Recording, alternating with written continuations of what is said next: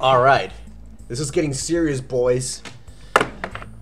A overclock tutorial by yours truly. If you think you're missing inputs like crazy, you're not alone. Your adapter might suck. Or the driver. So we're gonna do this real quick.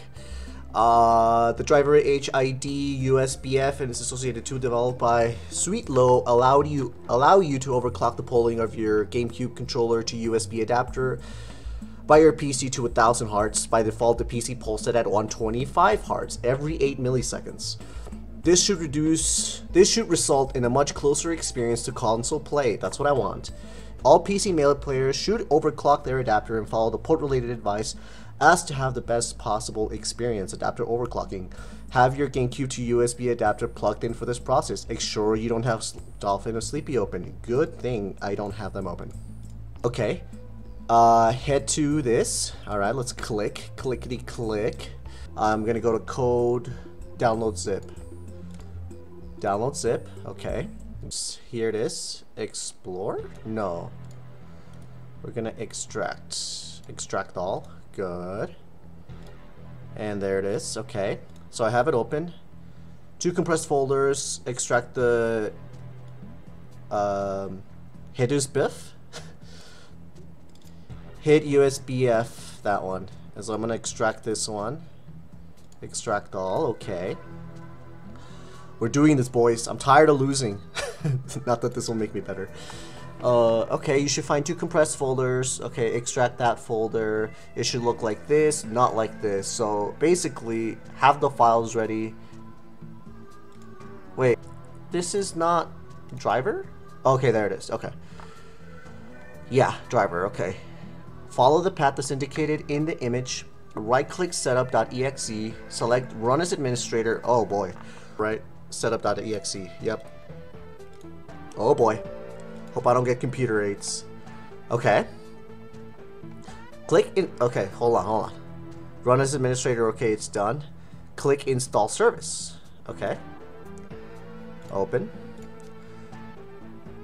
This service installation is unrelated to what device you currently have selected. You only need to do it once.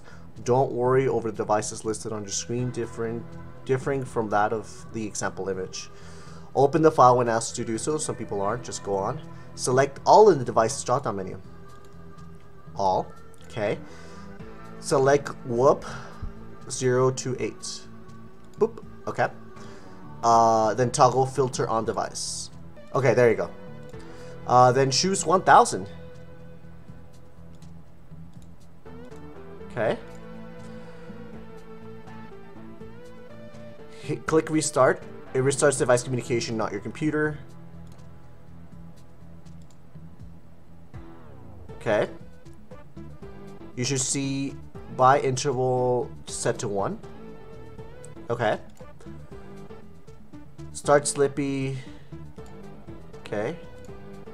Open controls panel. Configure.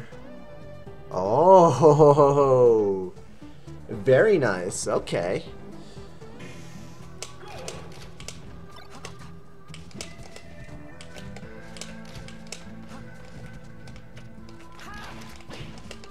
Ooh, honestly, it feels a lot like I'm playing on console. Oh my god! Okay. Okay. This might be placebo. I'm not denying that.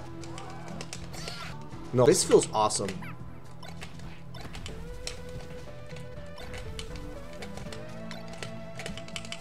I feel like I can move.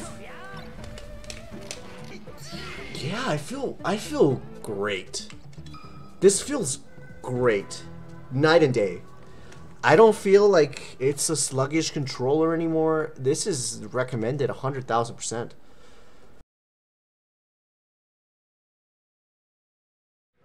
That's okay. Controller feels great though. I'm not gonna lie.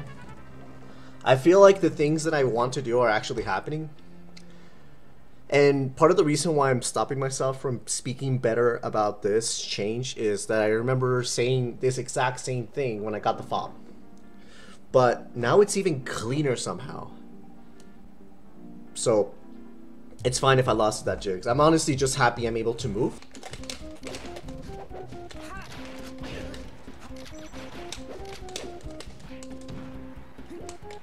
Like I literally just played this guy and he bodied me. And I and I force stock him? Are you serious? Bro.